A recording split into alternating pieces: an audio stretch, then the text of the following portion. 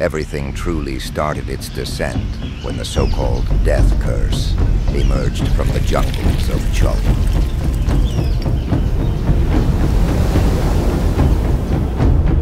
Faerun's most notable heroes and affluent nobles ran. Those who didn't flee to another plane of existence fell victim to the curse. With no one to save it, the world started to splinter.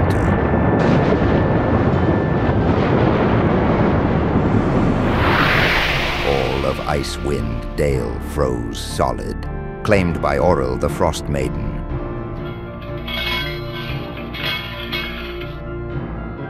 We lost the cities of Baldur's Gate and Elturel as they were dragged into the Nine Hells. In an act of desperation, people turned to the cult of the dragon for answers. The ritual was successful, and Tiamat, the queen of chaos and dragons, took her first flight into the skies of the Sword Coast, raining down devastation. When the Soulmonger was emptied, Vecna, the Whispered One, the Archlich, had a massive power boost. Countless fell to Vecna's hand, and those who remained willingly joined him, including the shrewd Zhentarim and dozens of liches. It's now the year 1500.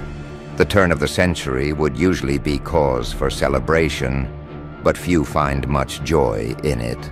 So there you have it, a brief summary of events. This is the darkest the Sword Coast has ever been, and it's wholly doomed.